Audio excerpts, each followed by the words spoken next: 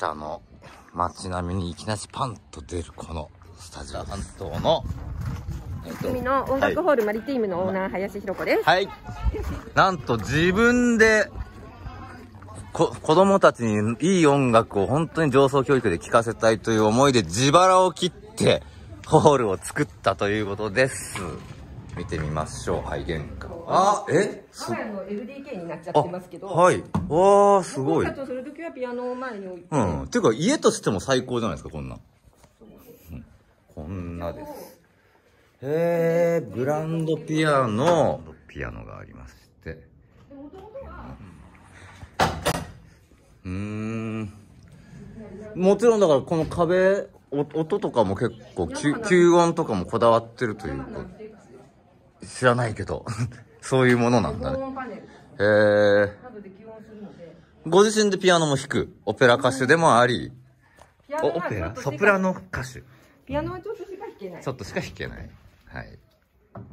へえ、うわー、グランドピアノ。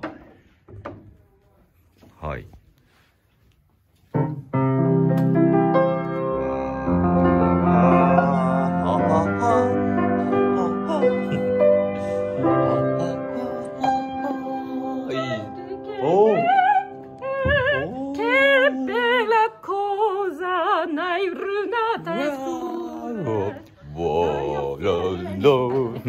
本当にだから子供たちとか文地域の人に文化を知ってほしいって言って突っ走ってここまでやっちゃう人がそんな人多いよね。なんか知多半島さっきも。突っ走る人元気な人が多いへえなんかでも僕も何かの機会で使わせてもらおう、うん。ぜひぜひうんそう実は映像もやるからプロジェクションマッピングとかもできてえ、そうだからそういうなんか子供たちにねもうぶっ飛びの世界味わわせることができると思う、うんなんかね、その映像の部分が私が一番弱いところ、僕映像のプロです。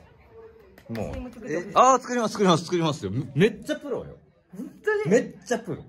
だからよくある本当にあのテレビとかのあのあのクオリティで作れるから。へへー。え、まあ、ちょっとコラボってやっていきますよじゃあ、うん。